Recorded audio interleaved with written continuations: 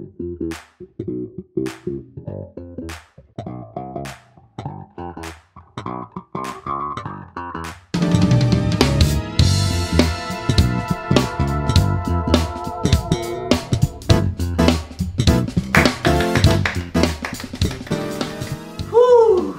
い、えー、ベーシストの、えー、結城凛林こと凛でございます。今日の、えー、トピックを発表します、えー、今日のトピックは、えー、グルーブフィーリングを、えー、養おうという、えー、トピックでございます。同じコード進行の、えー、とトラックの上で、えー、イーブンと跳ねを跳ねたグルーブとイーブン、えー、と跳ねてないグルーブを、えー、と弾き分けるという、えー練習です、まあ、ちょっとよくわかんないかもしれないのでとりあえずまずトラックの説明します。それ。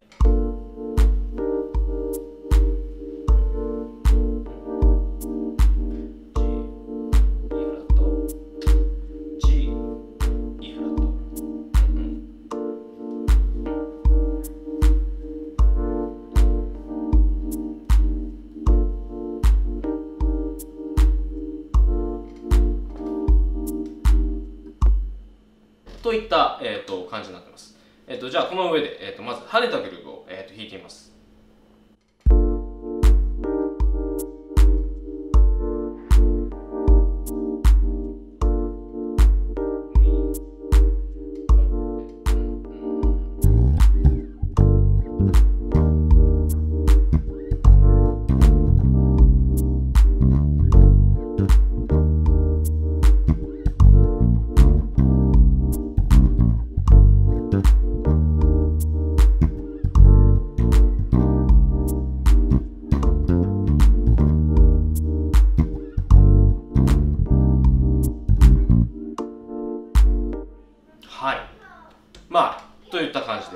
ちょっとごめんなさい適当に弾いちゃいましたけどあの今アドリブでやってるんですけども、えっととりあえずフィールが大事ということで、えっとまあ、今のはとりあえず跳ねたグループでしたね。じゃあ次はイーブン。跳ねてないグループを、えー弾いてみたいと思います。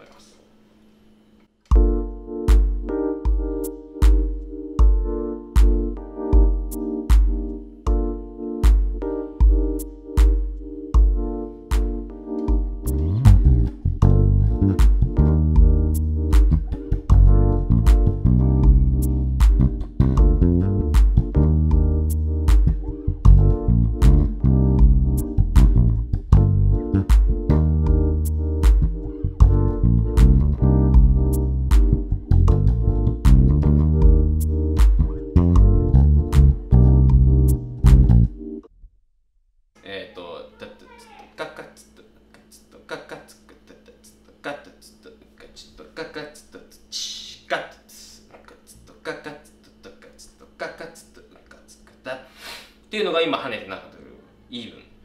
えっ、と跳ねてたのはドゥンツッとカッとドゥンツッカッとツックドゥンツッカッブンチッチカッとツックとチンカッドゥンチッカッとツックカチッとカッとドゥンまあ、みたいな、えっとまあ、3連形ですよね。これを、えっと、交互に弾くこれは結構難しいんですけど、